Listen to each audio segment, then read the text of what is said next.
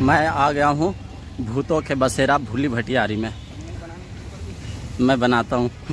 ये चैनल है। और ये दिल्ली में है, वैसे दिल्ली में दो तीन जगह भूतों का बसेरा माना गया है, लेकिन आप लोगों को मैं दिखा रहा हूँ भूली भटियारी। ये आपका आर के आश्रम में पड़ता है।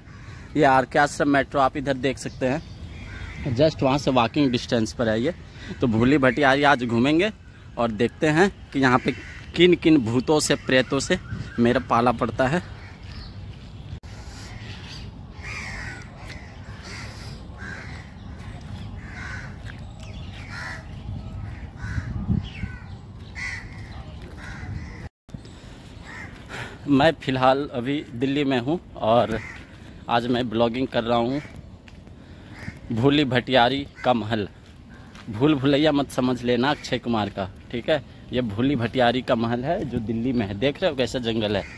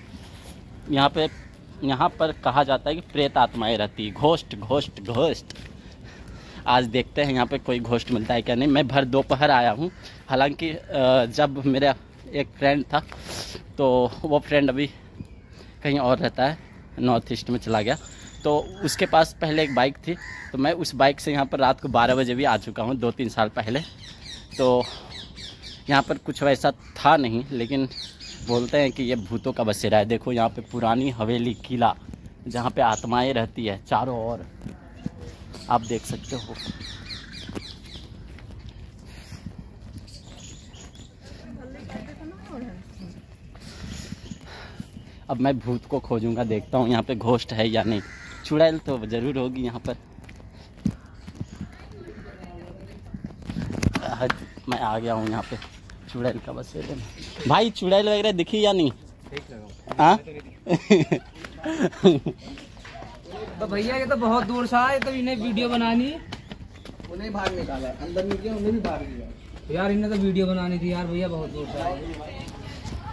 भैया थोड़ा सा घूमने तो दीजिए। अरे नहीं भाई उन्हें भी बाहर कर दिया मैं तो ऊपर बैठा था वो अंदर आ गए थे। बोले अंदर में क्या है? वैसे बता तो दीजिए। कहीं चमक रही ना चमक रही? कहीं से तो आए होंगे। क्या नाम था? पद्मावती?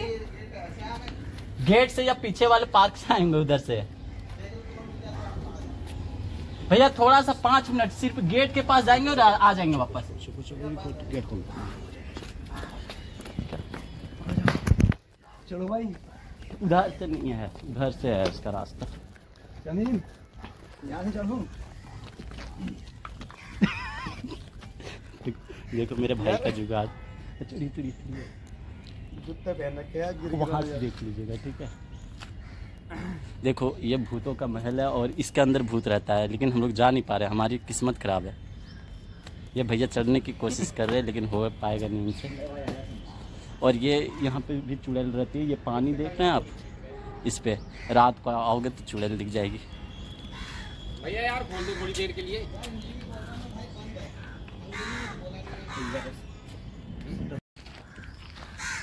मैं अंदर जाना चाह रहा था लेकिन अंदर जा नहीं पाया। यही है भूली भटियारी का महल जहाँ पे भूत रहता है। भूल भुलैया मत समझ लेना भूल भुलैया अलग है। है यहाँ हैं ना ये भूली भटियारी का महल जिसे फिरोज शाह तुगलक ने अपने शासनकाल में शिकार गो शिकार गाह के लिए बनवाया था। तो आज मैं दोस्तों इसी को एक्सप्लोर करने वाला हूँ और इसके बारे में रोचक तथ्य और इसके इतिहास के बारे में आज मैं आपको पूरा जानकारी देने वाला हूँ। क्योंकि यहाँ पर काफ़ी दूर दूर से लोग इसको देखने के लिए आते हैं और ऐसा कहा जाता है कि ये और ऐसा कहा जाता है कि ये जो महल है, ये काफ़ी है, कितना इसका रहस्य है, वो तो आज तक कोई पता नहीं लगा पाया, लेकिन आज हम पूरा इसको एक्सप्लोर करने की कोशिश करेंगे। चलिए दोस्तों, अब ज़्यादा देर ना करते हुए वीडियो को करते हैं शुरू। अगर आप मेरे चैनल पर नए हैं तो चैनल को कर दीजिए सब्सक्राइब, क्योंकि तो जैसे ही दोस्तों हम अंदर प्रवेश करते हैं। तो अंदर का जो व्यू है वो कुछ इस तरह का है। एक मेन गेट ये था जहाँ से मैंने अभी एंट्री की है और एक मेन गेट इसका ये है। तो इसी के बाद एंट्री तो इसी के तो इसके अंदर दोस्तों अभी मैं सोच रहा हूँ जाने के लिए क्योंकि गार्ड है तो गार्ड ने बिल्कुल पूरी तरीके से वार्निंग दी है, यहाँ पर अंदर नहीं जाना है। अरे। भाई, एक मिनट लगेगी।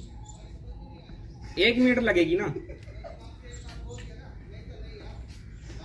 देखो गार्ड का फ़ोटो अरे चल चल अरे ना जान मेरी यार ये एक बार सिर्फ़ देख लेते एक झलक। अरे यार कुछ नहीं है अंदर परेशान हो रहे थे आने के आ लिए। जाओ फिर आ जाओ। चालू रहेंगे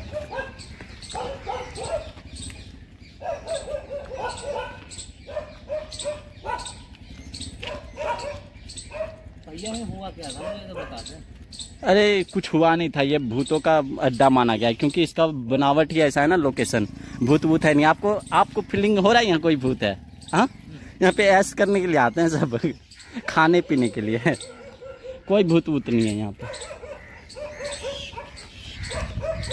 लेकिन रात को बहुत कुत्ता भौंकता है यहाँ पे इसलिए भूताहा जगह बन जाता है ये। तो तुम आए थे क्या रात में यहाँ? हम आए हैं बारह बजे एक बजे आए हैं। तो तुम्हें कोई चमका? नहीं हम अपने दोस्त के साथ आए थे। हम हाय हाय हेलो कर ले थोड़ा उनसे। अगर भूत नहीं मिलेगा तो क्या कीजिएगा? बात करेंगे। इतिहास के बारे में तो चौदहवीं शताब्दी में फिरोज शाह तुगलक ने इसको शिकार गाह के लिए बनवाया था यानी कि जब फिरोज शाह तुगलक राजा जो यहाँ पर आते थे वो शिकार करने के बाद इसी महल में रुका करते थे। आज के समय में इसका नाम भूली बटियारी का महल पड़ा और ये किस और ये किस वजह से पड़ा वो मैं आपको अभी आगे बताने वाला हूँ। तो यहाँ पर आप देख सकते हैं जो इसकी पीछे का इसका एरिया है ना वो कुछ इस तरह का है और लाल बलुआ पत्थर से इसको बनाया गया है काफ़ी मज़बूत है। दोस्तों कहा जाता है कि जब राजा यहाँ पर शिकार करने के बाद आते दोस्तों कहा जाता है कि जब राजा शिकार करने के बाद इस महल में आते थे तो वो अपनी रानी को भी लेके आते थे। और रानी को लेके आने के बाद दोस्तों, ये महल उनकी रानी को पसंद आ गया था, जिस वजह से रानी ने राजा से ये इच्छा जगाई कि मुझे इसी महल में रहना है। उसके बाद राजा ने दोस्तों, उन, उसके बाद राजा ने रानी को इसी महल में छोड़ दिया।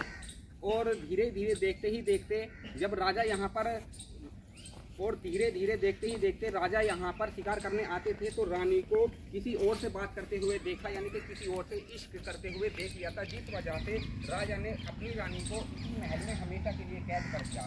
और धीरे धीरे दोस्तों, जब कैद कर दिया तो कुछ समय के बाद भूख प्यास से रानी की मृत्यु हो गई। इस वजह से जब मृत्यु हुई दोस्तों तो रानी ने ये सोचा कि मैं राजा से बदला लूँगी। चाहे जीते जी बदला ना लूँ, लेकिन मरने के बाद ज़रूर बदला लूँगी। तो तब से ऐसा माना जाता है कि यहाँ पर रानी की आत्मा आज भी भटकती है और रात होते ही लोगों को दिखाई देने लगती है और साथ ही साथ उसकी आवाज़ें भी यहाँ पर सुनाई पड़ती है।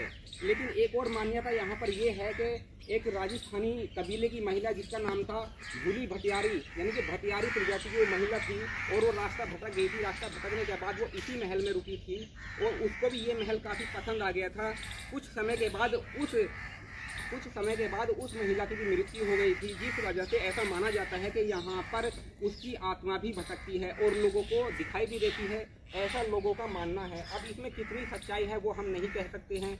तो ये था इसका कुछ इतिहास। तो फिरोज शाह तुगलक ने अपने शासनकाल में शिकार गाह के लिए इसको बनवाया था। क्योंकि हम सोच रहे थे कि हमें भी यहाँ पर कुछ देखने को, अजीब देखने को मिले। बहरहाल यहाँ पर गार्ड की जो ड्यूटी होती है, हमने गार्ड से बात करने की कोशिश की थी, लेकिन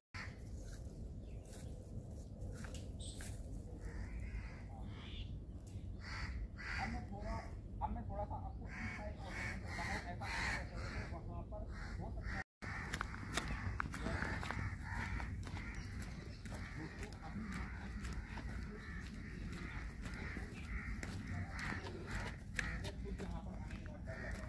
मतलब मुझे ऐसा एहसास हो रहा है कि हो सकता है यहाँ पर बुरी शक्तियों का साया हो यहाँ पर कोई आत्मा हो। ऐसा मुझे भी थोड़ा सा लग रहा है, लेकिन उतना मैं सच्चाई से नहीं कह सकता हूँ कि इसमें वाकई में सच्चाई है या नहीं है। और थोड़ा सा आगे मैं दिखाने की कोशिश करूँगा। थोड़ा सा और आगे आइए।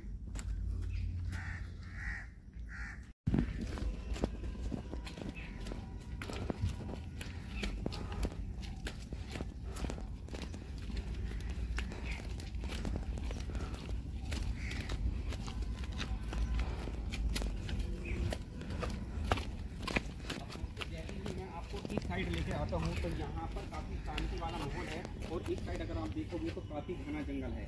यहाँ पर आप कपल्स लोगों को भी देख सकते हैं, अलग तरह की एक्टिविटी करते हुए और साथ ही साथ यहाँ पर नशा करने वाले लोग और गांजा पीने वाले लोग यहाँ पर मौजूद हैं। अगर आप यहाँ पर अकेले आने की प्लानिंग बना रहे हैं तो आप ये गलत सोच रहे हैं। कभी भी ऐसी जगह पर आपको अकेले नहीं आना है, एक दो के साथ कोई घटना हो तो इस चीज़ का आप दोस्तों खास तौर से ध्यान रखिएगा, क्योंकि यहाँ पर मैंने क्योंकि यहाँ पर मैंने भी अकेले आने की प्लानिंग बनाई थी लेकिन बाद में मेरी प्लानिंग जो है वो कैंसिल हो गई थी क्योंकि किसी से मुझे पता लगा था कि वहाँ पर कुछ घटनाएँ हो जाती है और कुछ तो वो लोग यहाँ चांदनी चौक का लड़का है बहुत हराम है ये तो तो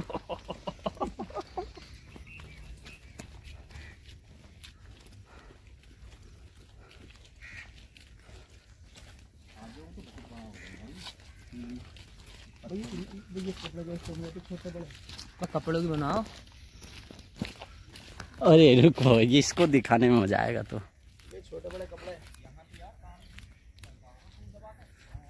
ये देखो कपड़े, यहाँ पर भूतों ने लोगों को मार मार कर खाकर ये कपड़े रख दिए हैं।